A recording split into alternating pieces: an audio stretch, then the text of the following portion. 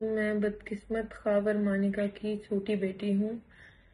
میری بہنوں نے جو ویڈیو بنا کر میرے ضعیف اور دکھیارے باپ کے خلاف حرزہ سرائی کی ہے، میں اس کا جواب دینے آئی ہوں۔ خاور مانکا میرے والد نہایت ہی نیک سیرت اور پاک باز انسان ہے میرے والدین ہنسی خوشی سے اپنی زندگی گزار رہے تھے۔ میرے باپ نے صرف ایک غلطی کی کہ عمران خان کو ہمارے گھر گھسنے کی اجازت دی۔ اس کے بعد عمران خان نے بشرا بی بی مطلب میری والدہ کو ورگلایا اور اس کے بعد جو کچھ ہوتا رہا، میں ایک بیٹی ہونے کے ناطے دہرا نہیں سکتی۔ لیکن میں یہی کہنا چاہتی ہوں کہ میری والدہ نے عمران خان کے بہکاوے میں آ کر ہمارے ہنستے بستے گھر کو تباہ کر دیا۔ اور ہمارا گھر اجاڑ دیا۔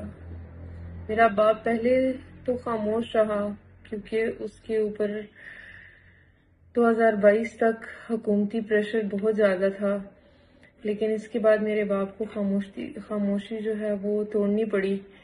میری سب سے یہی درخواست ہے کہ عمران خان جیسے شیطان سے خود کو اور اپنی آنے والی نسلوں کو محفوظ رکھیں